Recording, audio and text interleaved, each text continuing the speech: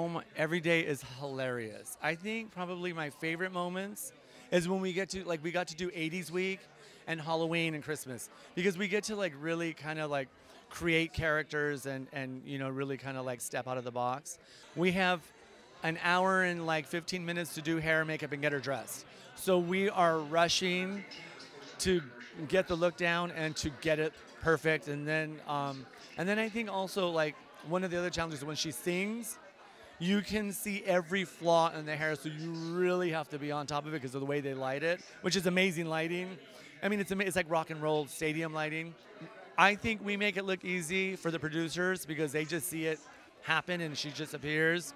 But in the back, there's like a lot of color matching. We're constantly washing extensions, toning, and it, it's just a lot, like a lot of technical stuff that goes into it.